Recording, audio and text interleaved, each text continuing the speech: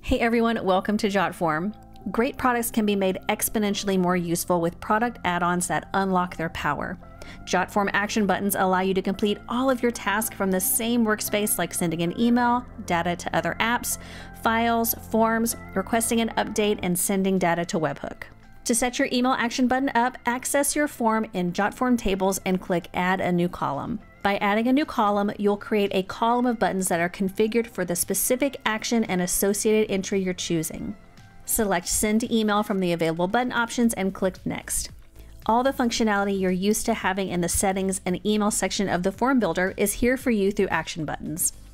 Once your preferences have been saved, the new action button column will appear in your table.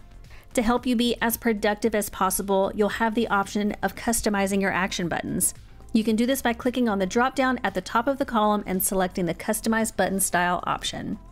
Let's try adding another column. Sending information directly from your table to your project management, CRM, and third party email apps provides added flexibility to your workflow. You can process, add to, and edit your data in JotForm tables, and based on the integrations connected to your form, create new tasks in Asana, add contact details to Constant Contact in Salesforce, or update a board in Trello, as just a few examples.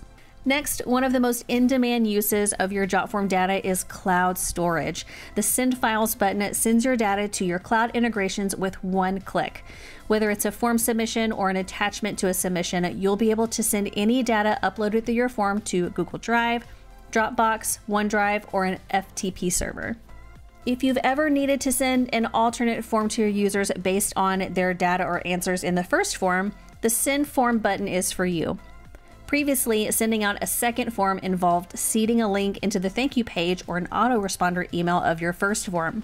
Now, you can share a second form with your specific users directly from your table. The Request Update button gives you a convenient way to share an individual or group of users a link to update the current form submission whenever you need for whatever reason. You can also use this button to request more information in scenarios where a new field is added to the form after submissions start rolling in. Next, sending the PDF documents that you've created or migrated over from JotForm's PDF editor has never been more secure, convenient, and easy. Doing this from the comfort of your table is a no brainer and will make sending contracts, badges for events, or follow up invoices a snap with the Send PDF action button.